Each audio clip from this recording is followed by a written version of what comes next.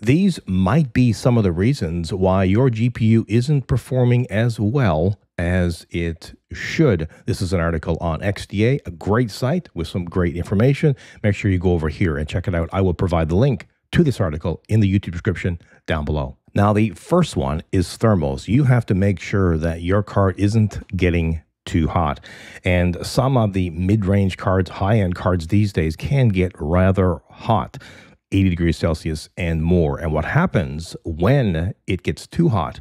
Well, it could crash and cause all kinds of performance loss, but you can also potentially damage the card. And of course, your in game experience because of performance loss is not going to be good. You're going to get things like stuttering and more happening. So, how can you prevent your video card from getting too hot? Remember, if you're enjoying this content, you can do everything that's up here like, share, subscribe. Of course, hit that notification bell as well and comment. So, to lower temperatures on your GPU, there are a few things that you can check. One of them, of course, is to have your computer in a cool room, typically on the floor. If you have air conditioning, turn it on if it's very hot to keep the room temperature down, and that will help keep your GPU temperatures down as well. Make sure as well you use canned air, or if you're using an air compressor, make sure the pressure is not too great.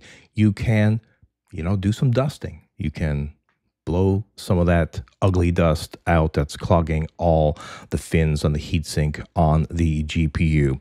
Also, good airflow. Make sure you have a case that has great airflow.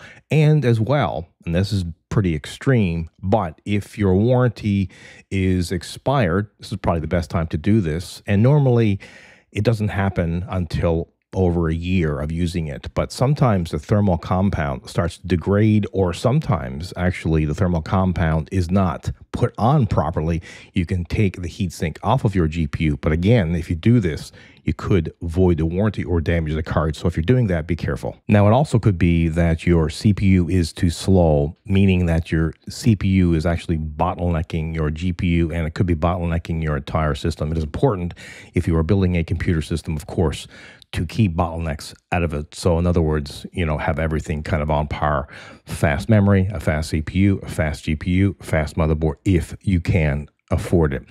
So, how can you tell if your CPU is bottlenecking your GPU and slowing it down? Well, just check the CPU usage. If you're seeing 90, 95, 99% all the time, yeah, you got a problem you need to upgrade maybe your CPU. Also, what PCI Express version do you have? If you have an older motherboard, well, you more than likely have an older PCIe slot, and that could slow down your card, especially if you are doing typically non gaming stuff. This will slow it down. Usually, PCIe 3 4 is certainly recommended, but now there's PCI Express 5 and from what i've heard if you are using the 50 or 5000 series nvidia cards and you're doing some rendering and some other very heavy intensive gpu work it can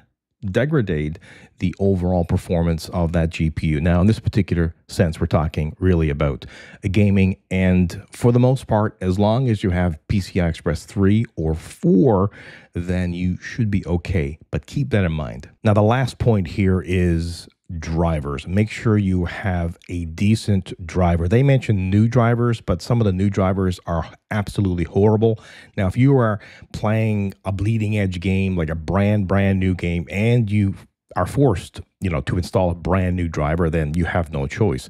However, Google it, go on Reddit somewhere in some community and just research what driver is best for your particular video card. Now, I did a video on that. I will either link it on the screen or link it down below so you can go over there and check it out. There are some decent NVIDIA drivers that will generally work on 30 series, 40 series cards. If you have a 50 series card, good luck because driver support for that card has not been that great. However, there are decent drivers out there, and certainly you want to have a really good driver. If you don't, you're going to have all kinds of problems. And remember, if you have any suggestions or comments about this topic, let us know.